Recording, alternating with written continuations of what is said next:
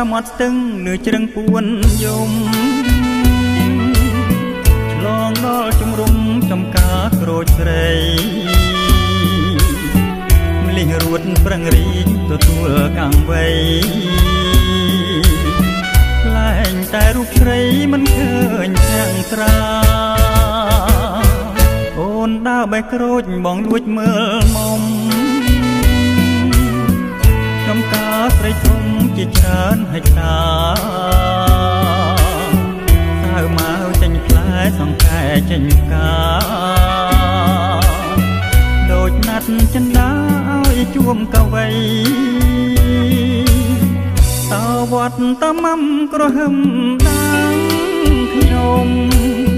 កាពីរូបមុំក្រពុំពេញវ័យអូនចុះងូតទឹកលើស្ពានក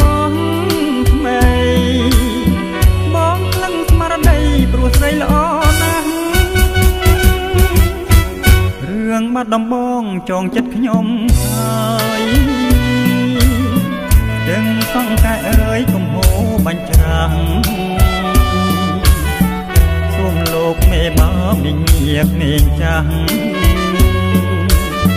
ជួយប្រណីខ្លះដល់កវីផង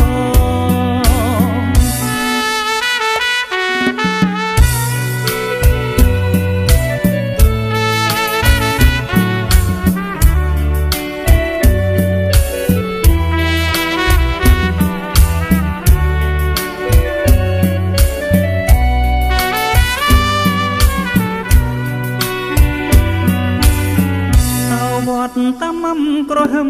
ដាងខ្ញុំកាពីរូបមុំក្រពុំពេញវ័យអូនចុះងូតទឹកលើស្ពានកងថ្មីបងខ្លាំងស្មារតីព្រោះស្រីល្អណាស់រឿងបាត់ដំបងចងចិត្តខ្ញុំហើយ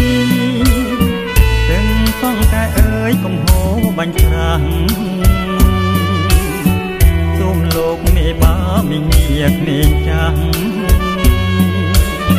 ជួយប្រណីខ្លះដល់កវីផង